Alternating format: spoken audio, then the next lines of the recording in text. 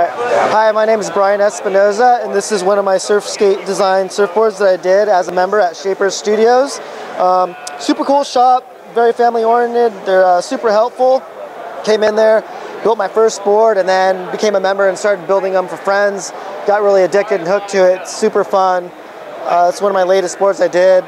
Uh, I'm a skateboarder myself too and a surfer, but grew up skating my whole life, so wanted to incorporate something of my skating into my surfing. So I decided to do something that looks like a surf or a skateboard, and uh, did something a little bit, you know, with like Tomo's design and a little bit of my design in there as well, and made it look like a skateboard. And it's the finished product. And if you want to learn how to build surfboards, come to Shaper Studios, and where you can take a lesson and learn the whole fundamentals, start to finish, from shaping to glassing.